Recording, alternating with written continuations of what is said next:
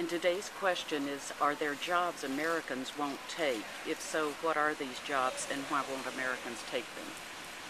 Uh, there aren't any jobs that Americans won't take. There just isn't. Um, there's, I believe, um, an amount of money that American won't be paid for doing a certain job. Uh, actually, I, I'm not sure about the question because like I don't know like what kind of jobs are um they don't like or like.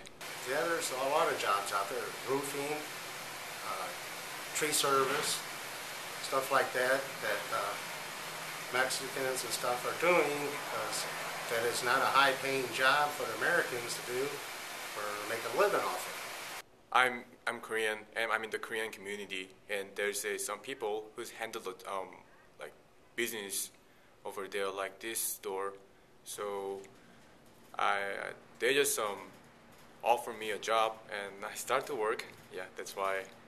Yeah, I'm working here. Yeah. I believe there are some jobs that American will not take, and primarily it's because uh, it's not a living wage.